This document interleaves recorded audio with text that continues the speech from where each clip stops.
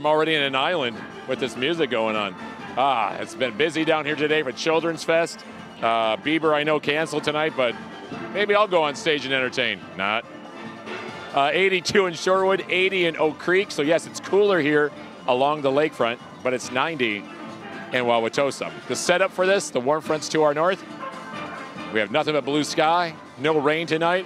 That changes tomorrow. That cold front to the west will be here in the morning. We could see a few scattered showers in the morning. Better chance as you get into the evening. It'll be more humid tomorrow as well because of that chance for rain. And then the cold front will dry us out Sunday, Monday, and Tuesday. All right, way to go. They take a bow. Impressive.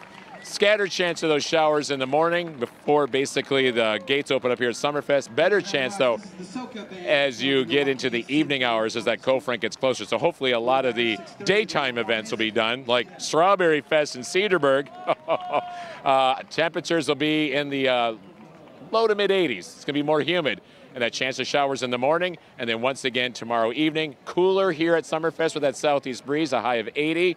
And then if you're coming down here in the evening, just be prepared for a quick thunder shower passing through. It will not be raining all evening long. 70 tomorrow in the morning, 80 near in the afternoon. The seven day forecast cooler and windy on Sunday, 77, 75 on Monday. That's the pick day. And then when we're back here on Thursday, back up to 90 degrees and humid for one day. How about the band? They're great. They'll be back here at 6:30 and all kinds of stuff going on tonight here, of course, on night two of Summer.